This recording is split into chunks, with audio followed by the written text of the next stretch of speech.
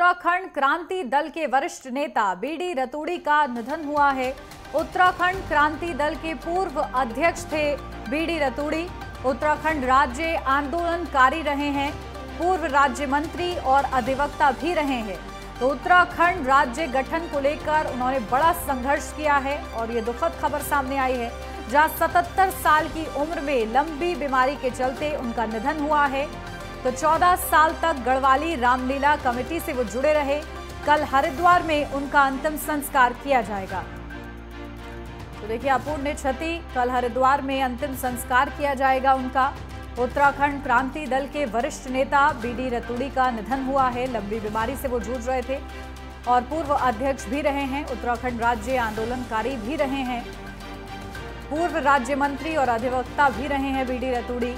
उत्तराखंड राज्य गठन को लेकर भी उन्होंने लंबा और बड़ा संघर्ष किया है। उत्तराखंड राज्य गठन को लेकर जिस तरीके से उनका योगदान रहा, संघर्ष रहा, वो भुलाए नहीं भुलाया जा सकता। और ऐसे में 77 साल की उम्र में उन्होंने अंतिम सांस ली है। बताया जा रहा है कि लंबी बीमारी से जूझ रहे थे और इसी के चलते उन्होंने आखिरी सांस ली है।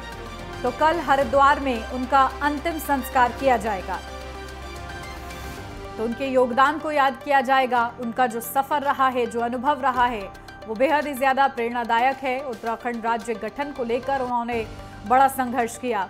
और इसी के साथ जो उनका पूरा योगदान रहा है समाज के कल्याण के प्रति, अब वो याद किया जाएगा।